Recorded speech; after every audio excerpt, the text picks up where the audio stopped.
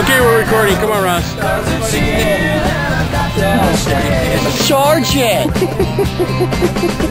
Don't hey, just you guys are gonna be pissed when you get hit by a car and you're not already prepackaged, right? You guys are gonna be, you guys are gonna be like, oh, that guy was smart.